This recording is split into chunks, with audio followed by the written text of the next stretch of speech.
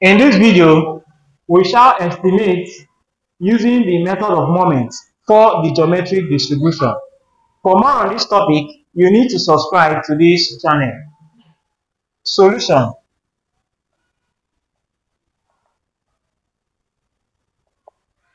We should note that for the geometric distribution, x follows a geometric distribution of 1 all over p.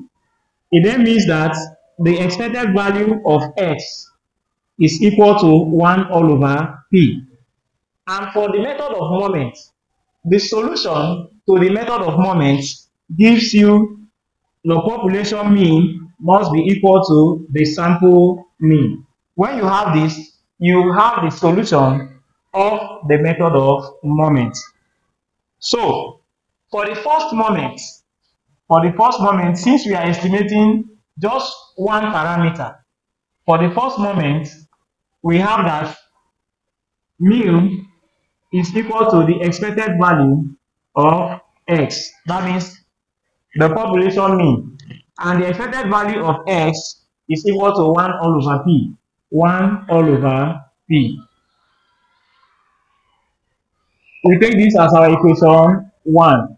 Also, the sample mean is given as 1 all over n summation of xi as i running from 1 to n. And we know that this is equal to x bar. We take this as our equation 2. The next thing to do to get the solution or to get the estimates of p, we combine equation 1 and equation 2 to give us something like this. So we write combining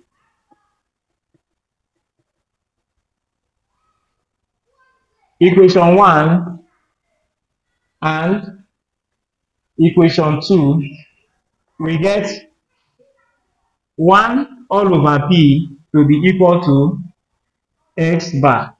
It then means that our p estimate is equal to 1 all over x bar, meaning p is biased. So our p estimate for the method of moment for geometric distribution is equal to 1 all over x bar, which is the mean, or you can call it the sample mean. So this is how we can obtain the method of moment for the geometric distribution. For more on this topic, you need to subscribe to this channel.